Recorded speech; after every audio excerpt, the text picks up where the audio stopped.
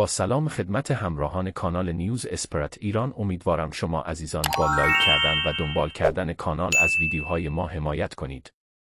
درویش برانکو می تواند بیاید.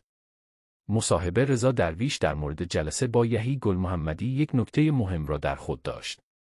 رضا درویش در حالی مصاحبه خود با خبرنگاران را انجام داد که خبرنگاران قصد داشتند هر طور که شده نام گزینه های جانشینی یحیی گل محمدی را از زیر زبان مدیر عامل پرسپولیس بکشند اما او چیز خاصی نگفت.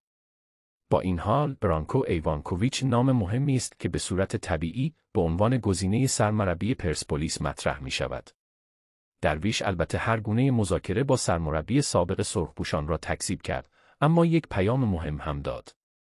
او در این مورد گفت که مالیات برانکو ایوانکوویچ پرداخت شده و به این ترتیب سرمربی کروات مشکلی برای عقد قرارداد با پرسپولیس و بازگشت به ایران نداره.